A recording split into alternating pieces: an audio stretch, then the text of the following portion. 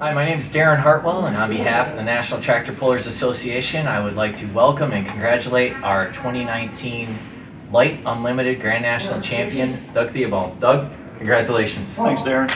So, Doug, this is unbelievable. It's your first Grand National title, first Grand National title for your family. All right. How, how does it feel, man? Uh, it, it feels great. Feels like the uh, culmination of a, a lot of work for a lot of years. Uh, you know, kind of striving to to accomplish this, and uh, just yeah, just thrilled that we were able to do it finally. Absolutely, absolutely. So, brand new tractor for Yeah. 2019. Uh, this one has been in the works for a while. Yeah, uh, basically a couple years now. Um, we started a couple years ago by, by buying the chassis and and started working with Brad Corporal at Modern Machine and kind of developing a plan on what we wanted to do and different things happened through the course of the uh, building process. It kind of changed directions a couple times, but um, you know it, it kind of all came together and I, I don't know how we was able to make it work so good, you know, right off the bat, but everything we you know tried to do worked really well. Right. So came out, um, won the first hook in Benson, North Carolina. Um, took the, the points lead from there. Um, you know, coming out of there, next couple hooks were rained out. Um, you know, you after Hagerstown, Maryland, you're able to to regain the the points lead, and then um, you know it kind of went back and forth. I mean, it was a very exciting season, back and forth for you guys. Yeah, yeah, uh, fairly stressful, obviously, trying to uh, keep on top of things, but um, it was a fun deal, you know, running with, with Keith and and uh, you know, kind of going back and forth, and you know, every hook, you know, was was really important. So um, had to be on top of our game, and there was times that that we got, you know, I guess maybe kind of lucky because certain things fell the way they did, but. Yeah, it was a lot of fun, and fortunately, it, it worked out good for us. Yeah, yeah. So um, you had three wins on the year. You won in, Benson, you won in um, Mount Sterling, Illinois, and then going into Bowling Green, Yeah. you know, you guys were tied. So Bowling Green, the last two hooks of the year at the National Tractor Pulling Championships, um, going into those last two hooks, tied with Keith Wayson in the Super Bee. Yeah. Um, the first hook in Bowling Green, Yeah, first hook in Bowling Green. Um, yeah, obviously the added stress of you know being in a tie, and then obviously Bowling Green, huge deal by itself. So um, just try to make sure that we had everything as right as we knew how to make it, and um, you know obviously first time running a tractor there, so just trying to make sure that we were you know as well prepared as possible and. And first night worked out perfect. Um, got the win there. Got the first, win. First win in Bowling Green. First win in Bowling Green, yeah. We'd had a lot of success at Bowling Green over the years with the trucks, but had never been able to get the, the actual win. So, so that was pretty thrilling. And then, um, so they gave us a lead after the first night. So then the next day, uh, I think we were up by what three or four points after that. Yes. So we basically, um, you know, just had to make a consistent run. Uh, we went through everything overnight and made sure, you know, all uh, mechanical issues were taken care of. We found a couple things right before we were supposed to run that we had to address, but um, but then yeah, we Keith ended up being first hook.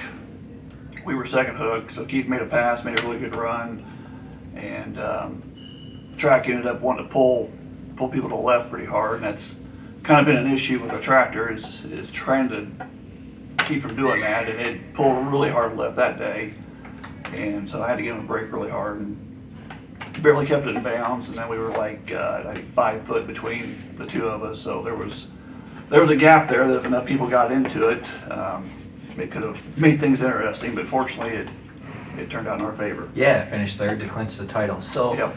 You said that, that this has been a long time, long time coming, a long time in the works. I know your family's been involved in the sport a long, long time. How, how did you guys get started in the sport? How long have you been involved in it? Well, ever since I can remember as a kid, Dad would take us to, to pulls, and then finally in uh, 1981, he bought a single engine mod tractor. We had no clue what we were doing. I remember that very well. Not that we have a lot more clue now, but I think we're a little better. But uh, yeah, we, we, we worked with that for, I guess, six years. And then uh, that's about the time that the major multi-engine stuff was coming around.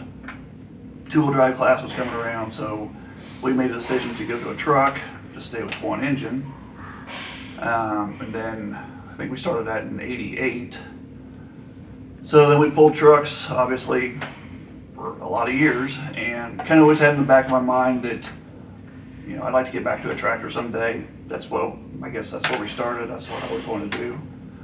So this light unlimited class seemed like a nice fit for what Yeah. we were used to doing, so that's kind of where that, that all came about. Nice, nice. So it's been a, a long, long time, and you know, you guys have been very successful in trucks for, for a long, long time.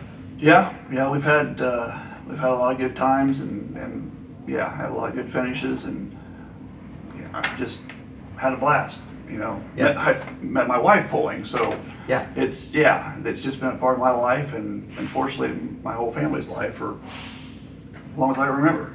nice, nice. So several generations. I mean, right? The Right. next one's coming up.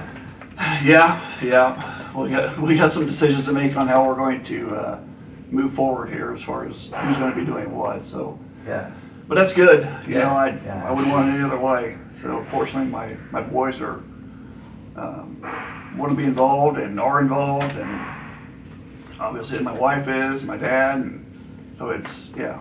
it- Yeah. We just have, we have a good time, it's a lot of work, but we wouldn't want to do anything else. right. It's a great, great family bonding experience for everybody, and Right. everybody has a good time. So, so speaking of that, who do you want to thank? Well, obviously, family first, you know, the support I get from my wife and my boys are, is incredible, the help, you know, that they do, and, and obviously them being involved as well, it makes, uh, it makes our conversations at home, you know, pretty interesting at times, thinking about what we're gonna be doing next, and then, uh, Right. My mom and dad, obviously, have always been supportive, and then, uh, Josh Miles, without him, I couldn't do this. It's, um, the, the effort and the time involved in this, it just takes a lot of people to make it work. Absolutely, absolutely. All right. And then, you know, manufacturer wise, Modern Machine has been a huge, huge help. Um, Nichols Tire, um, we've just, you know, those guys have been super great to work with and given us a lot of help on a, on a class that, you know, we had no experience in, so we were relying on, a, you know, Right. a lot of information from other people and it, it worked out good. Absolutely, absolutely. All right. Well, congratulations, Doug. Thank It's you. been a long time. You've earned it. Appreciate it.